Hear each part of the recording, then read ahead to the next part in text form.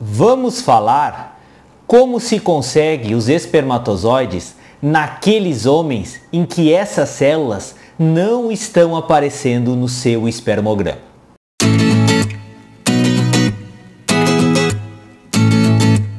Oi, gente, me chamo Lucas Felipe Gomes, sou médico urologista da cidade Concórdia, do estado de Santa Catarina.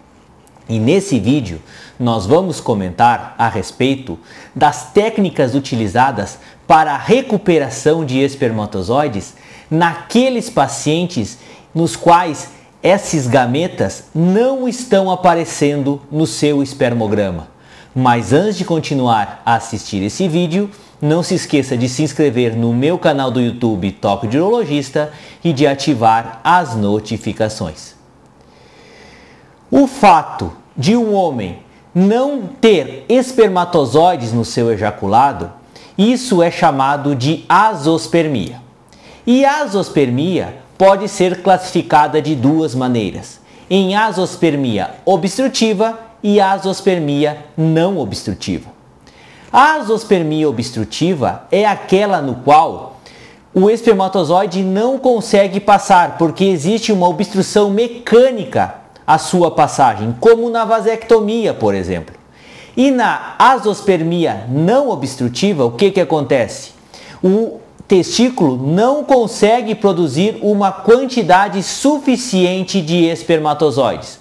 E isso costuma acontecer em problemas de ordem hormonal e até mesmo em algumas síndromes genéticas que muitas vezes não são diagnosticadas.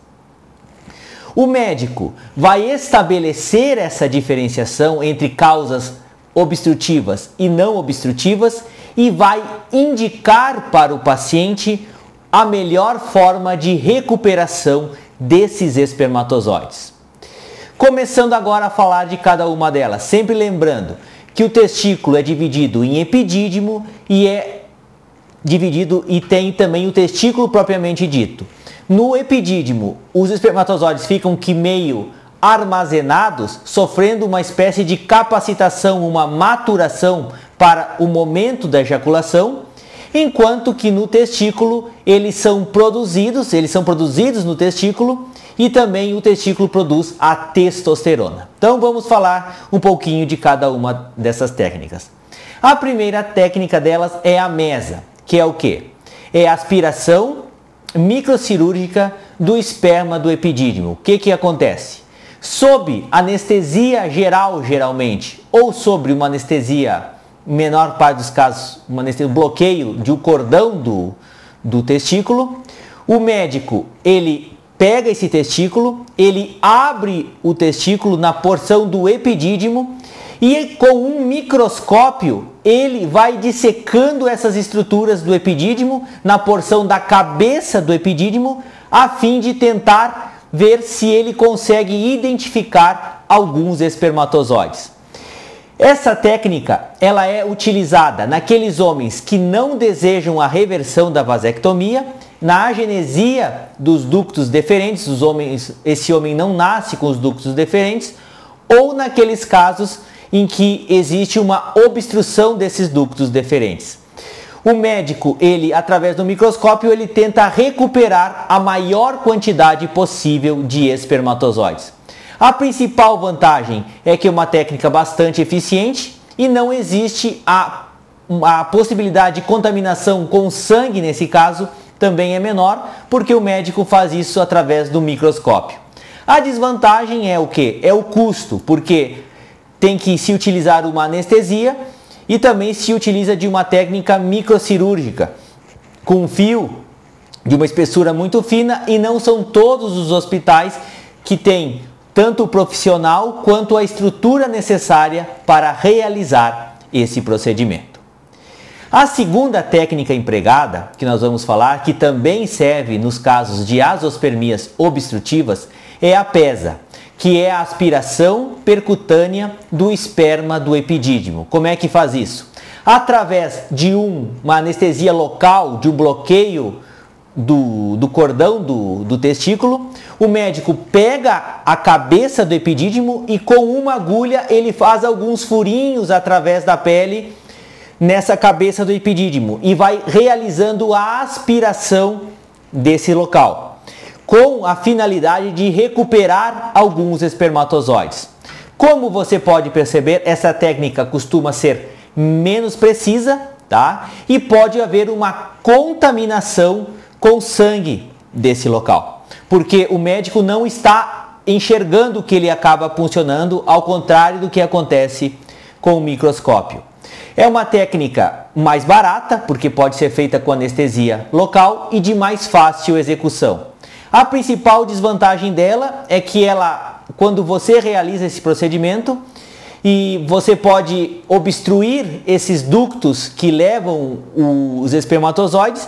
E se o paciente desejar realizar a reversão da vasectomia depois de ter feito esse procedimento, muitas vezes isso não pode ser mais possível. A terceira técnica que nós vamos comentar é a aspiração do esperma do testículo. Então, antes a gente puncionava ou dissecava o epidídimo. Agora nós vamos nos concentrar diretamente no testículo. Como é que faz isso? A exemplo da punção percutânea do esperma do epidídimo, na, na tesa também acontece isso. O médico segura o testículo e através de uma punção através da pele nesse testículo, ele vai aspirando na esperança de localizar alguns espermatozoides. Ela pode ser utilizada tanto em casos de azospermia não obstrutiva e azospermias obstrutivas. Costuma ser um procedimento também que pode ser feito com anestesia local, é um procedimento de custo acessível, no entanto, os resultados dessa técnica costumam não ser muito, bons. E existe um risco de uma complicação bastante significativa, é que quando você realiza essa punção, pode lesionar um dos vasos que nutre esse testículo e acabar realizando uma atrofia. Esse testículo pode vir a diminuir de tamanho. E a última técnica que nós vamos comentar é a tese, que é a extração do esperma do testículo.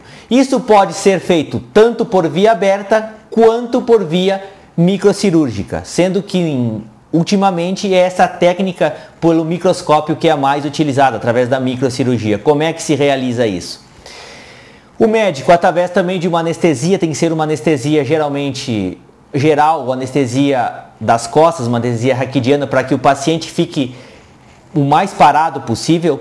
Ele abre esse testículo de quase de cima a baixo, tá? e vai realizando a exploração do mesmo, vai vendo através do microscópio em que locais pode haver uma concentração maior de espermatozoides. E esses locais vão sendo biopsiados, vai tirando pequenos fragmentos desse lo desses locais e isso vai sendo enviado para um médico que através do microscópio também vai vendo se nessas amostras vão existindo os espermatozoides. É uma técnica, como vocês podem ver, é uma técnica bastante laboriosa, é uma técnica que envolve muitos custos também, porque tem que ter um médico habilitado para fazer esse procedimento e envolve técnicas de microcirurgia e os resultados costumam também ser muito bons nesse caso. E essa técnica costuma ser mais empregada naqueles casos de azospermias não obstrutivas.